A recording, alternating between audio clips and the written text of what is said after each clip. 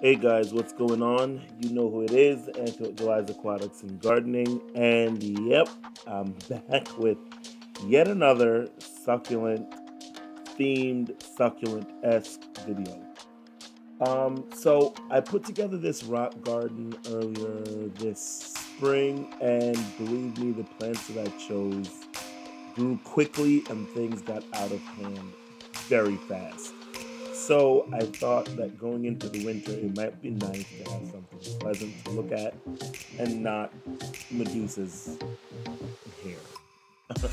um, so on the right side of the garden, I had a mishmash of um, sedums, Angelina sedums. I had a variety of ice plants. I did have some Sempervivums, which got swallowed by the ice plants. This was the that I dug that great big, quote unquote, um, jade plant out of that I showed in a video um, a couple of weeks ago.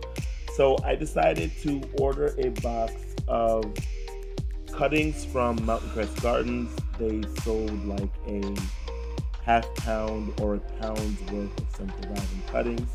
I ordered those, they came in and I just went to town plugging them in to make sure that everything looked pretty the end. Um, the purple-ish looking stones are actually poultry grit. I use that as a top dressing, if you will, although at the end of the day, you really don't see it anyway, but it's mainly there for drainage and there's a barrier between the soil, which is not a succulent, and cactus mix just regular potting. That's what I had.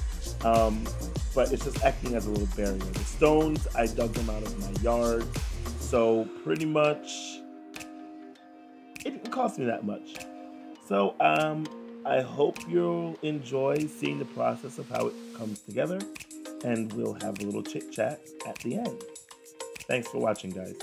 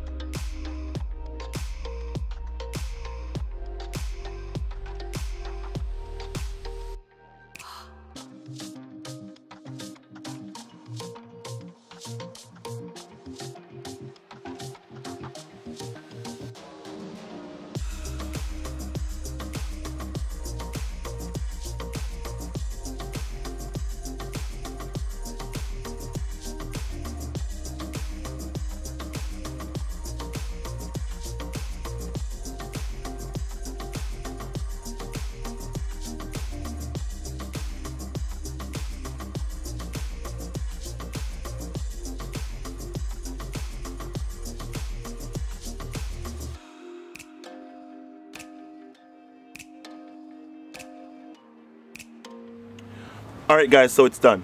I finished it. this has actually been in here for a couple of weeks now. I'll pop up on the screen when I actually did this project, but as you, some of you may know, I was having computer issues for a while, so I have a backlog of videos I'm trying to pump out.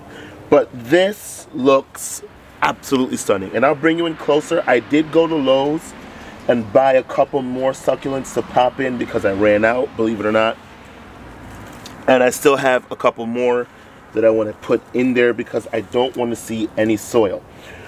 What I'm going to do is just let this ride over the winter and the next year, I don't know if I mentioned it in my little voiceover, but next year I'm going to be raising up the soil level in here and doing much more ebbs and flows and valleys and peaks and things of that nature. Um, I kind of did it on this side. I kind of raised the soil level up over here and it kind of looks like a mountain and a slope. So I kind of want to do that in a couple of more places. Um, so let me bring you in closer and show you exactly what I did. Um, and I'm going to show you that some of these succulents did root in. I know that many of you probably were concerned, especially with the really small ones, that they wouldn't root in or they wouldn't last, but they did. And they've gone through a couple of nights in the 20s and low 30s, and they haven't skipped a beat. So Sempervivums, even when you work with them as a cutting outside, they are spectacular plants. So let's come in a little closer and show you what we've got going on. So there it is, guys.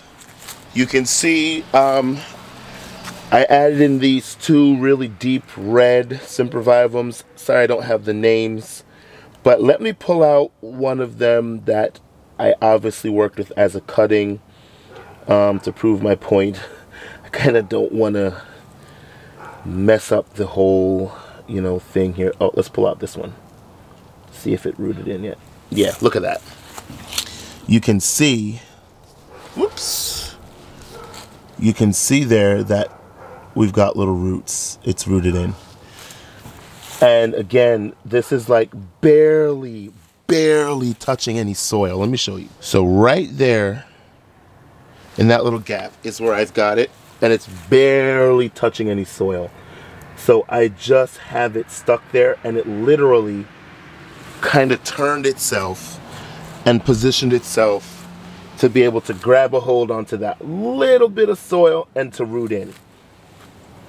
Um, so again, it's a pretty simple task. And if you have rocks in your garden, guess what? You can make a rock garden. So again, just to show you what I do, I pop out the succulent, I get rid of all the dirt,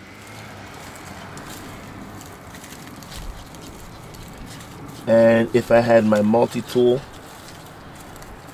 I would snip off all of these roots. But um so you know that's like a bare root cutting.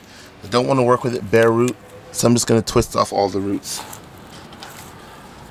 and again I don't need to wait for this to harden off. I'm cleaning off the undersides of the leaves. And then again I can just stick it right there just like that. And I mean look at the difference that makes right there in that corner so again this is not finished there's a lot of little gaps over here that I want to fill in there's some gaps here and here that I want to fill in so it's going to take some time um, but overall, I am super excited about having something pretty to look at in the winter. So, thanks for watching the video, guys. I hope you enjoyed seeing this little project come together. Thanks for all the support, as always. I love you all so much. Thanks for the support, the community. Everyone is so nice.